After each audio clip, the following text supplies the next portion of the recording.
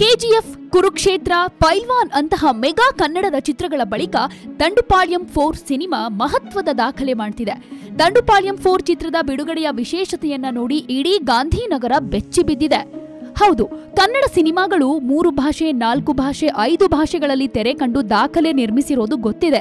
ಇದೀಗ ದಂಡುಪಾಳ್ಯಂ four cinema ಅದಕ್ಕಿಂತ ಒಂದು ಹೆಜ್ಜೆ ಮುಂದೆ ಹೋಗಿ ಹತ್ತು ಭಾಷೆಗಳಲ್ಲಿ ರಿಲೀಸ್ ಆಗ್ತಿದೆ.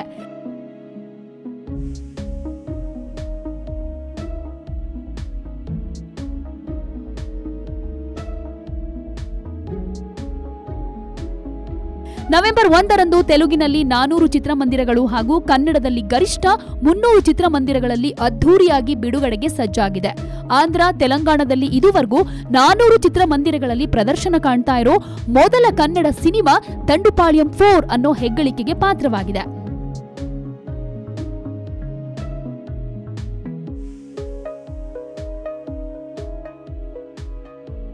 ನವೆಂಬರ್ ಕೊನೆಯಲ್ಲಿ ತಮಿಳುನಾಡಿನ ಮುನ್ನೂರಕ್ಕೂ ಅಧಿಕ ಚಿತ್ರಮಂದಿರ ಹಾಗೂ ಕೇರಳದ ನೂರಕ್ಕೂ ಅಧಿಕ ಚಿತ್ರಮಂದಿರಗಳಲ್ಲಿ ದಂಡುಪಾಳ್ಯಂ ಫೋರ್ ಎಂಟ್ರಿಯಾಗಲಿದ್ದು ಪ್ರತಿಷ್ಠಿತ ವಿತರಕರು ತಯಾರಿ ನಡೆಸಿದ್ದಾರೆ ಇನ್ನು ಜನವರಿ ತಿಂಗಳಲ್ಲಿ ಹಿಂದಿ, ಭೋಜ್ಪುರಿ, ಮರಾಠಿ, ಛತ್ತೀಸ್ಗಢ, ಗುಜರಾತಿ, ಬೆಂಗಾಳಿ ಭಾಷೆಗಳಲ್ಲಿ ಏಕಕಾಲದಲ್ಲಿ ಸಾವಿರಕ್ಕೂ ಹೆಚ್ಚು ಚಿತ್ರಮಂದಿರಗಳಲ್ಲಿ ಬಿಡುಗಡೆ ಮಾಡೋದಕ್ಕೆ ಯೋಜನೆ ಸಿದ್ಧಗೊಂಡಿದೆ ಅಂತ ಚಿತ್ರತಂಡ ತಿಳಿಸಿದೆ.